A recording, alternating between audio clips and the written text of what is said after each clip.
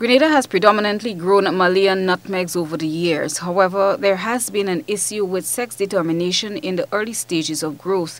The Ministry of Agriculture has begun the process of identifying the difference post-Hurricane Ivan, but that initiative stopped.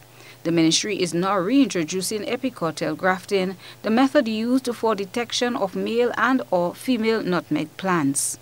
Addressing farmers and other personnel during the opening of the plant distribution season, Nigel Gibbs, propagation supervisor, shared some insight. With the sex determination, there is a high rate or high percentage of male plants. So we started again last year to work with the protocol and try different things and compliments to Mr. Robert Philbot, um, who was the one straight away took um, the process back to when they did it um, sometime in the 80s and 90s and then post Ivan to establishing some of the protocol that we would put in place. We have taken three approaches to grafting, the epicotyl grafting. One is to use the Malian as the rootstock because it has a better resistant root system that doesn't lend too easily to topple it.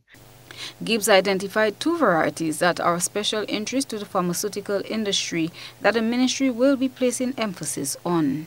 They are requesting the Banda, and this is the one with the wrong seed. It's dark, and the proper nutmeg. And this is the one with the oval shaped seed. Um, if you take a close look, you will see a striking difference in the morphology or the shape of the seeds. Um, the reason for that because Grenada nutmegs are highly used in the pharmaceutical industry, once the sampling of the, the chemical properties were done, they found that these two varieties were highly preferable based on the chemical properties, the chemical structure for the industry. So in fact, they have emphasized that these are the two varieties we should try and promote and produce to send to the industry. Gibbs said the ministry and the Grenada Nutmeg Association are also exploring the polymerase chain reaction or PCR testing for sex determination through collaboration with the St. George's University. Christina John, GBN News.